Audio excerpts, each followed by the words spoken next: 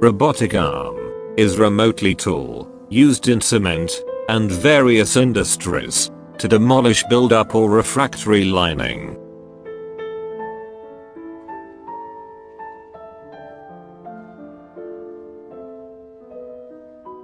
The preheater buildup or coating is a result of raw material processing in a very high temperature. Sometimes, sticky deposit may force you to stop the plant to wreck it from cyclone, rising duct, or precalciner. Performing this work manually takes longer time for building scaffolding, breaking and cleaning buildup using manual tools and removing scaffolding after completing the job.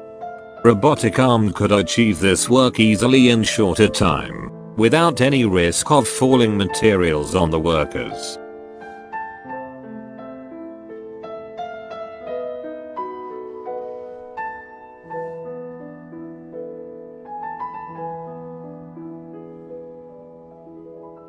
In cement industry, the robotic arm is used mainly in the preheater tower to descale the refractory lining from cyclones and rising ducts, where manual descaling or demolishing is risky, especially the zones of loose refractory lining and roofs.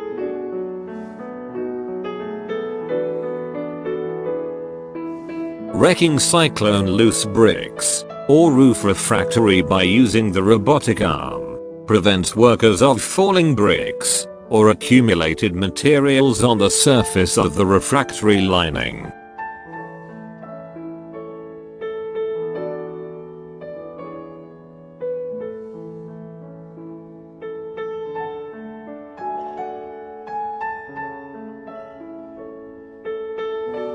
One operator could operate the robotic arm easily and achieve the demolishing work faster and safely in any risky zone.